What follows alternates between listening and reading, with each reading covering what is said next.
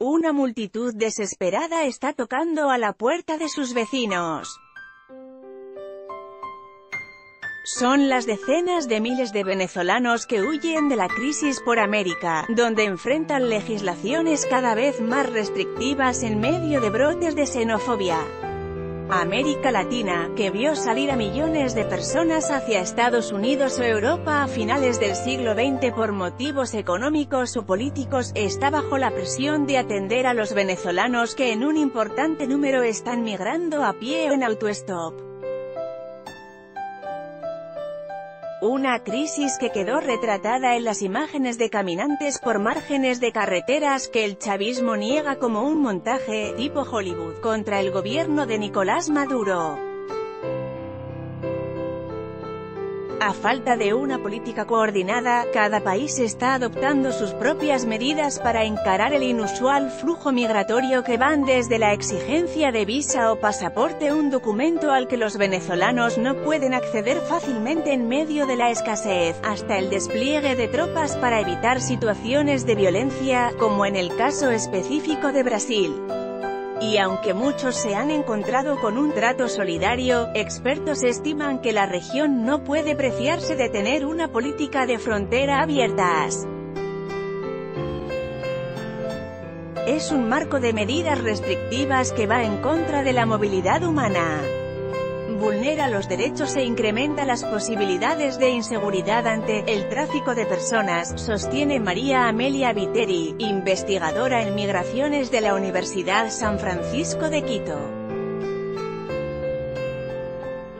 De cara a una reunión el próximo lunes en Quito a la que están convocados 13 gobiernos, incluido el de Maduro, para analizar la crisis migratoria, así está respondiendo el continente al coletazo externo de la situación en Venezuela.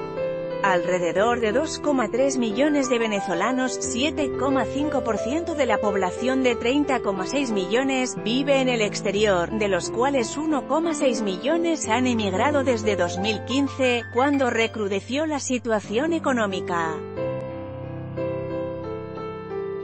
El 90% se ha quedado en América Latina, según cifras del Alto Comisionado para los Refugiados de la ONU, ACNUR, y la Organización Internacional para las Migraciones, OIM.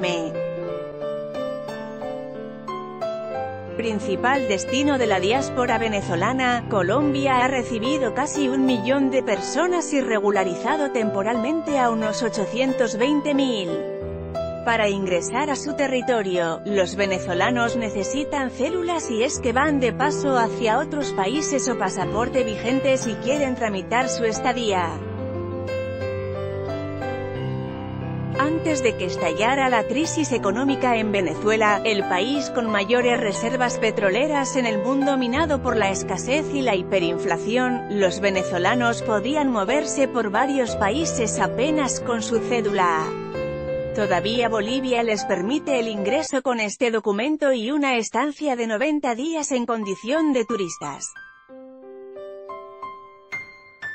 Desde 2014 hectáreas recibido a unos 25.600 venezolanos y la cifra va en aumento amparados en las políticas del bloque del Mercosur que suspendió a Venezuela como socio, Argentina y Uruguay también les facilitan el ingreso con cédula, aunque quienes lleguen en avión deben portar pasaporte.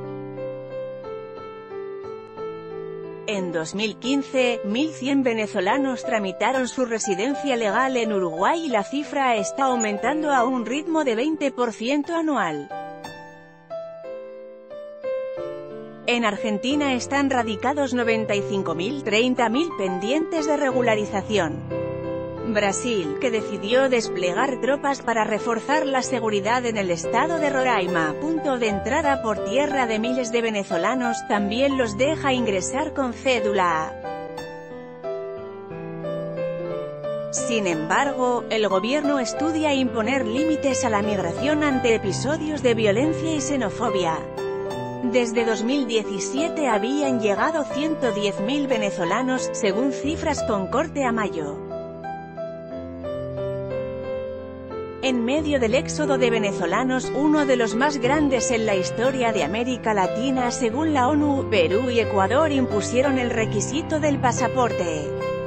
Quito debió suspender ese requerimiento por orden judicial, pero a cambio exige ahora un certificado adicional que avale la autenticidad de la célula y que debe ser otorgado por Caracas o un organismo internacional. Entre enero y agosto de 2018, a Ecuador ingresaron 641.353 venezolanos, 80% con pasaporte, y salieron 524.857, según la Cancillería. Perú también impuso el pasaporte, pero abrió la opción de refugio. En los últimos tres años han ingresado 414.000 venezolanos, incluidos 120.000 que pidieron el estatus de refugiado. A excepción de Costa Rica, los países centroamericanos, incluido Nicaragua estrecho aliado de Maduro exigen visas a los venezolanos. El gobierno chileno, entre tanto, estableció una «visa de responsabilidad democrática», que desde abril último debe ser tramitada en sus consulados en Venezuela y asegura residencia por un año y acceso a contrato de trabajo.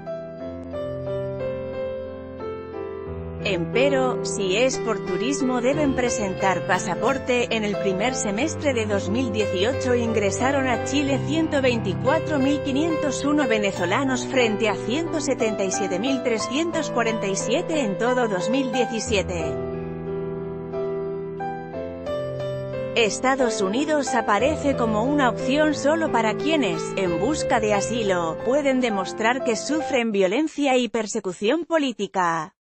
El año pasado más de 27.000 venezolanos pidieron asilo, casi el doble que en 2016 y cinco veces más que en 2015, cuando Venezuela estaba en el quinto lugar luego de China y otros países hispanoamericanos. Las solicitudes de asilo se han disparado en los últimos años, dijo a la AFP Michael Bars portavoz del Servicio de Ciudadanía e Inmigración de Estados Unidos USCIS. Nuestro sistema es proclive a vacíos legales, fraude y abusos, y esto impide a solicitantes de asilo legítimos ser procesados rápidamente, añadió. En lo que va de 2018, casi 16.000 venezolanos ya han pedido asilo. Según datos del censo de 2016, unos 300.000 venezolanos viven en Estados Unidos, de ellos casi la mitad 144.000 residen en Florida.